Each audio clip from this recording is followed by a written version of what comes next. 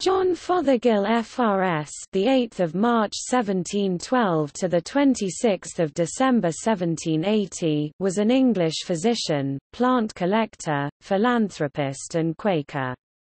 His medical writings were influential, and he built up a sizable botanic garden in what is now West Ham Park in London.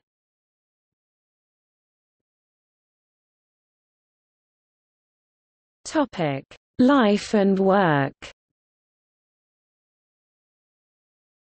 Fothergill was born at Carr End, near Bainbridge in Yorkshire, the son of John Fothergill (1676–1745), a Quaker preacher and farmer, and his first wife, Margaret Hough (1677–1719). After studying at Sedbergh School, Fothergill was apprenticed to an apothecary. He later took the degree of MD at Edinburgh, in 1736, followed by further studies at St Thomas's Hospital, London. After visiting continental Europe in 1740, he settled in London, where he gained an extensive practice. For example, during the epidemics of influenza in 1775 and 1776 he is said to have treated 60 patients a day. In 1745, he gave a brief lecture to the Royal Society of London, citing the work of a Scottish physician and surgeon, William Tossach c. 1700–1771, which is the first known lecture on the practice of mouth-to-mouth mouth ventilation.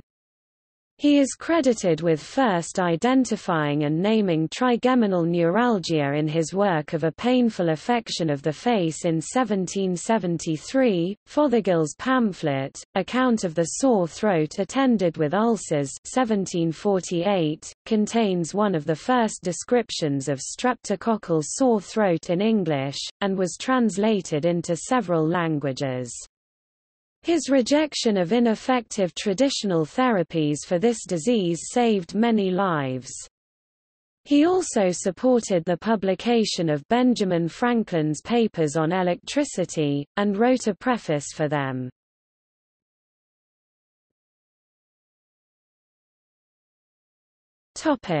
Botanist and Quaker In his leisure, John Fothergill made a study of conchology and botany. In 1762 he bought Upton House near Stratford, London and in its grounds he built up an extensive botanical garden and grew many rare plants obtained from various parts of the world now West Ham Park. In the garden, with its glasshouses, John Coakley Lettsom (1744–1815), a Quaker physician and a protégé of his, exclaimed that the sphere seemed transposed, as the Arctic Circle joined with the equator.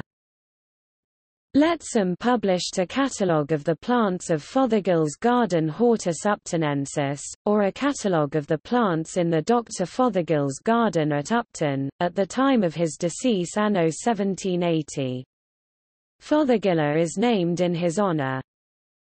Fothergill was elected a Fellow of the Royal Society in 1763. He was the patron of Sydney Parkinson, the South Sea voyager, and also of William Bartram, the American botanist in his Southern Travels 1773–76. A translation of the Bible, known as the Quaker Bible 1764 square by Anthony Purver, a Quaker, was made and printed at his expense.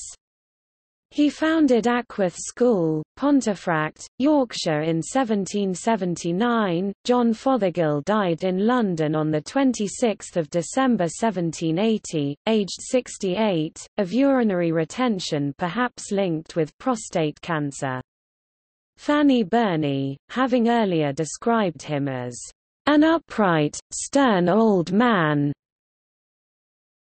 an old prig, later recorded when she was his patient.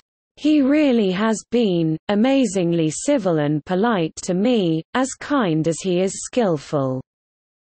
His niece Betty Fothergill described him in her journal as, "...surely the first of men." With the becoming dignity of age he unites the cheerfulness and liberality of youth. He possesses the most virtues and the fewest failings of any man I know.